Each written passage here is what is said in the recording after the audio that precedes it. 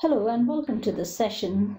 Today we shall look at death-defying cancer cells. So as you've seen before, death is a part of life. We all know that and it's inevitable. And the point about cells dying is not unusual.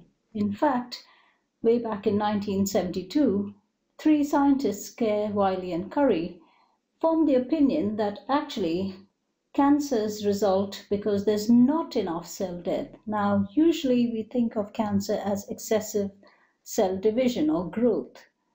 And this was quite a revolutionary concept at the time because this went against the concept of simply looking at cancer as super dividing cells. So let's look at how this concept of reduced cell death occurs in tumor cells. Before I go into that, I thought I'd give you a brief insight about how cells die. Now, there are several ways that cells die from, but there are two common pathways of cell death. One of them is called necrosis. Now, if you look at this cell, it's a typical cell. You see the outer um, membrane, you have the nucleus in purple, and the chromatin shown as the white blob in the middle, or the DNA. Typically, in necrosis, this cell bursts open, just like a balloon would. And this is rather a messy way to die. And this leads to several repercussions uh, to a cell.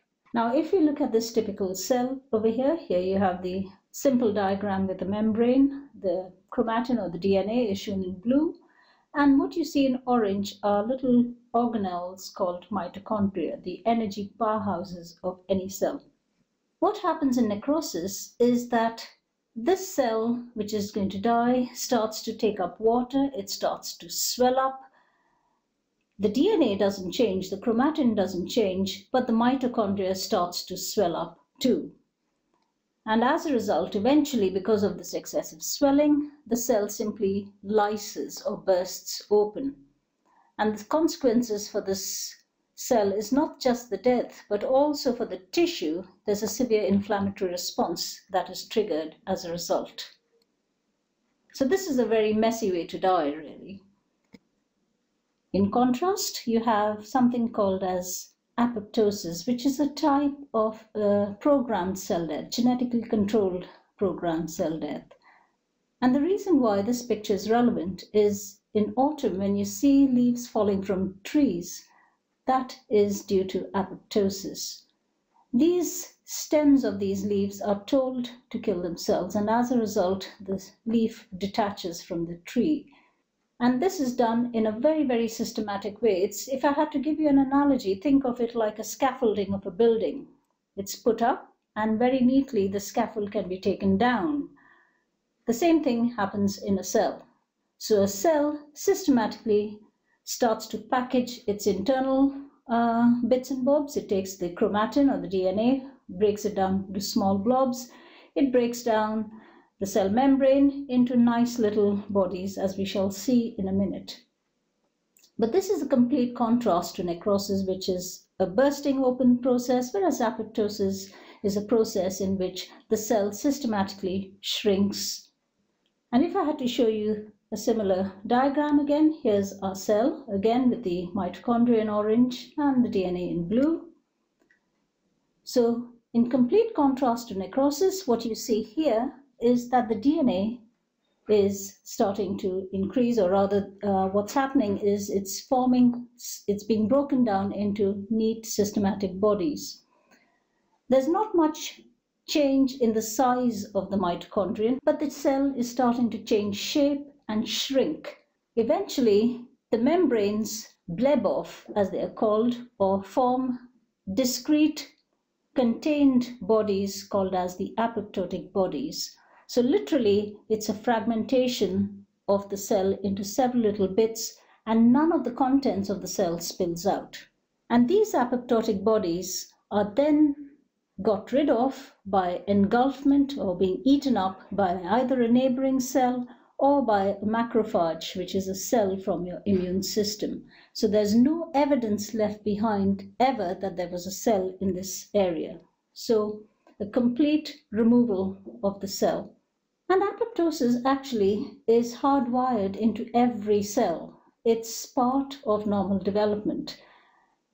When we are born, did you know that we were born as ducks?